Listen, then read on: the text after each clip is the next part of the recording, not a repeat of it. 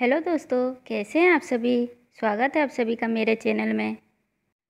दोस्तों, राखी आने वाली है तो राखी के दिन में बहनें अपनी भाई को बाज़ार की मिलावट वाली मिठाई क्यों खिलाएँ?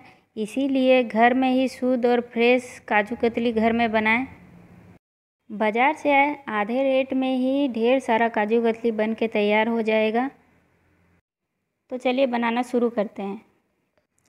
यहाँ पर मैं दो कप काजू की काजू कतली बनाई हूँ।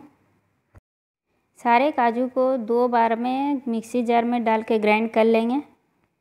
तो अब देख सकते हैं काजू पूरा फाइन पाउडर हुआ है तो इसे अब हम एक बाउल में निकाल लेंगे।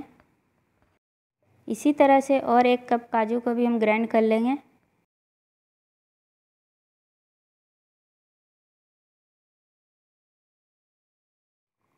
सारे काजू ग्राइंड हो गए हैं तो बाउल में सारा निकाल लेंगे। एक नॉन स्टिकी पैन लेंगे, आप नॉन स्टिकी कढ़ाई भी ले सकते हैं, जिसमें चिपके नहीं।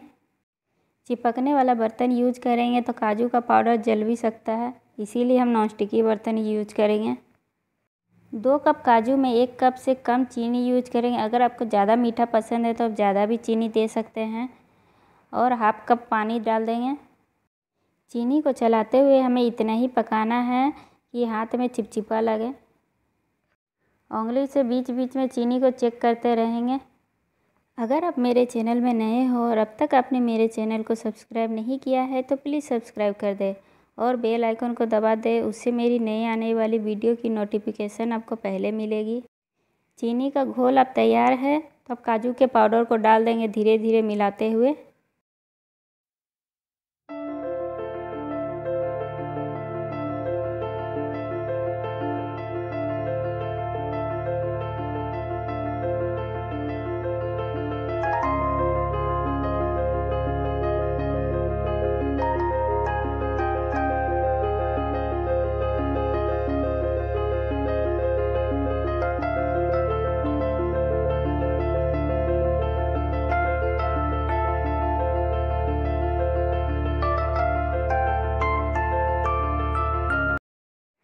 काजू और चीनी के पेस्ट को हमें कंटिन्यू चलाते ही रहना पेन में चिपकने नहीं देना है और साइड साइड में लगे हुए को भी निकालते रहना है। एक चम्मच देसी घी डाल देंगे।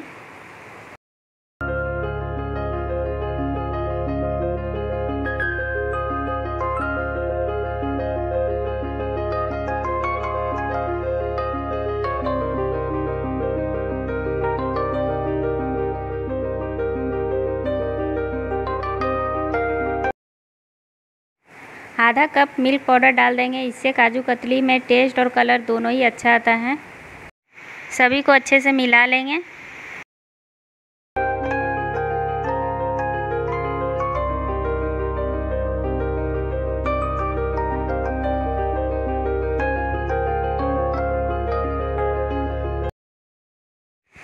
काजू कतली तैयार है तो हम गैस बंद कर देंगे और ज़रा सा ठंडा होने देंगे। तब तक एक प्लास्टिक में हम सभी जगह घी लगा देंगे।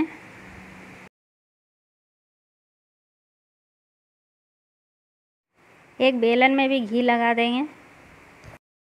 काजू कतली अभी ज़रा सा ठंडी हो गई तो अब देख सकते हैं कैसे हाथ में नहीं चिपक रही है ज़रा भी। जिस प्लास्टिक में हमने घी लगाया था, उसी प्लास्टिक में सारे काजू कतली को हम डाल देंगे।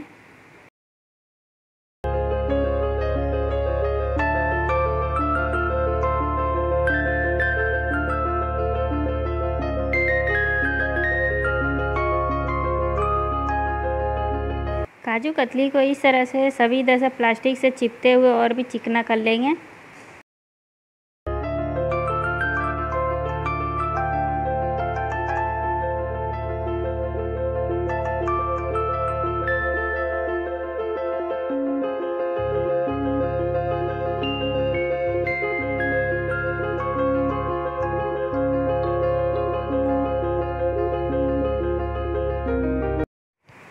इसे बेलेंगे।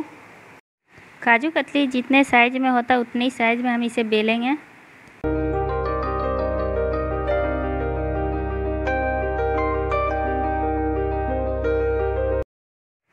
बेला हो गया है तो अब इसमें हम चांदी का परत लगा देंगे।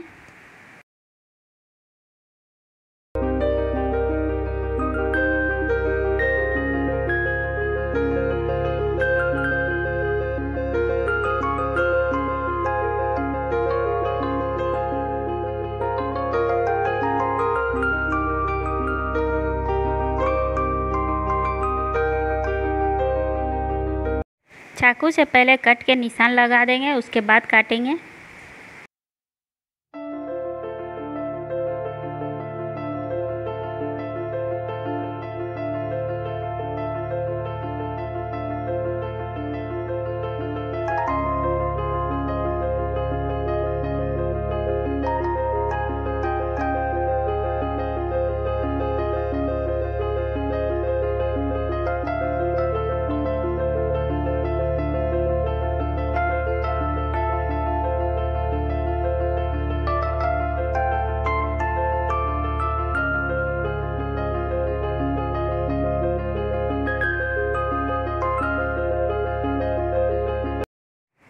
मैं काजू कतली कट करके आपको दिखाती हूँ, कितनी अच्छी दिख रही है।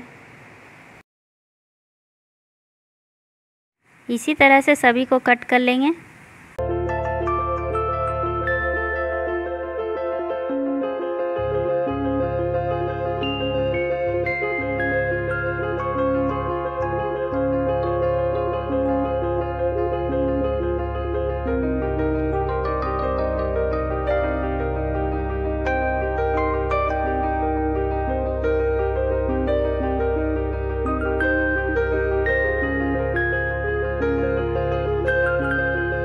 सारे काजू कतली कट हो गए हैं तब हम प्लेटिंग कर लेंगे।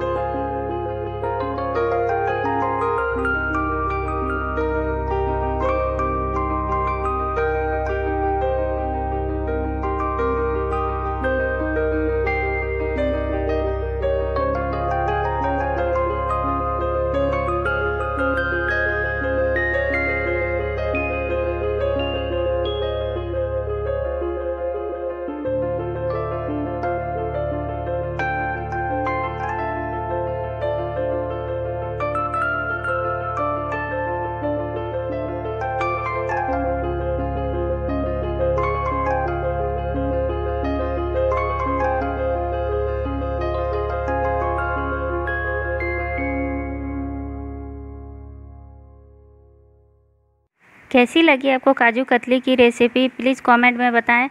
अगर आपको वीडियो अच्छी लगती है तो वीडियो को लाइक और चैनल को सब्सक्राइब ज़रूर करें। Thanks for watching